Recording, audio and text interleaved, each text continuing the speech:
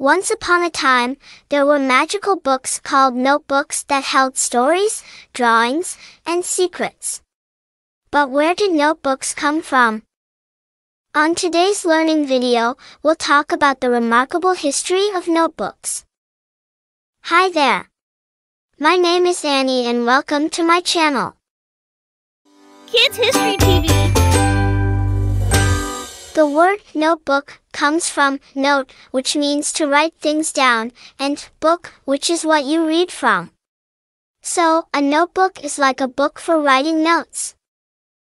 A long time ago, in ancient Egypt, people wrote on things like papyrus, which is like paper made from a plant.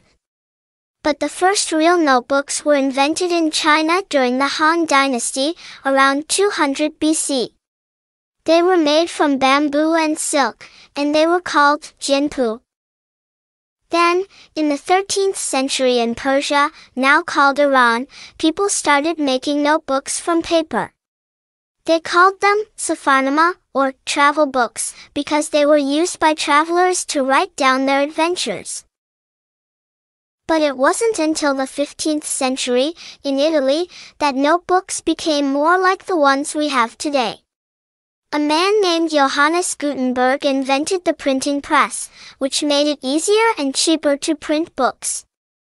This made notebooks more popular and easier to find. In the 19th century, people started making notebooks with covers made of cardboard and paper pages inside. These notebooks were easier to carry around and use. Today, notebooks are made in big factories. First, they make the covers using machines that cut and shape the cardboard. Then, they make the pages using machines that cut and fold the paper.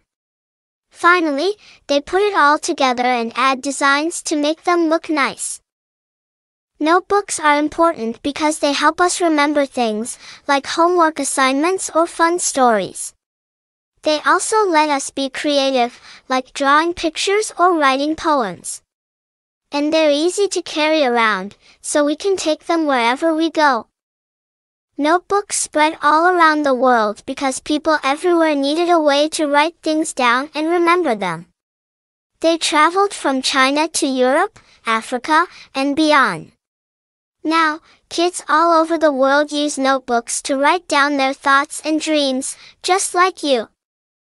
So, that's the story of notebooks. They started small but became a big part of our lives. With notebooks, we can write down our adventures and dreams, and make the world a more colorful place. And that's the end of this video. If you like this video, please do not forget to like, subscribe, click the notification button and share. If you want to know the history of common items we use every day, visit us again tomorrow for another exciting video. Thank you for watching and may you have a historical day. Kids History TV.